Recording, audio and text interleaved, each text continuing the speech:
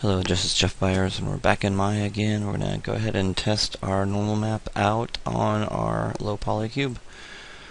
Let's go ahead and go into the attributes and click on your texture, your Blinn material, and let's go ahead and go down to bump mapping.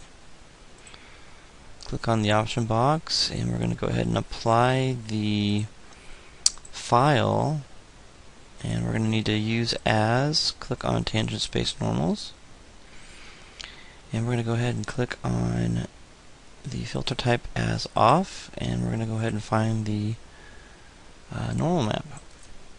And let's see here, what do we got?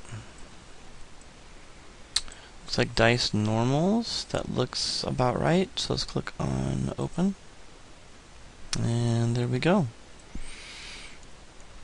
Now I do have it on viewport 2, so let's click on, notice that if I have it on regular default viewport, so if I click on here, you can click on high quality or viewport 2 to see it. You also have to have the 6 key on.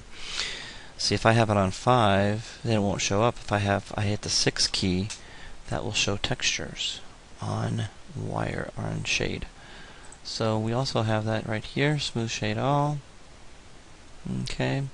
We also have renderer. We can find those renderers here, viewport or high quality rendering. It will not show in normal default quality rendering in your viewport, so you'll have to have high quality or viewport. I like viewport because it doesn't have the shadows. And that way you can see how it looks. Pretty cool. And that detail is not there, but it sure looks like it. Okay.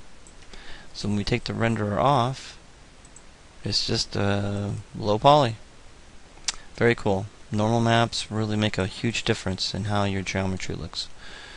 Alright, so um, we'll need to go off and paint your textures, apply those to the color channel, and you need to get your specular maps um, coordinated uh, with your diffuse, so those would be plugged in. Alright, and we'll have another video on that.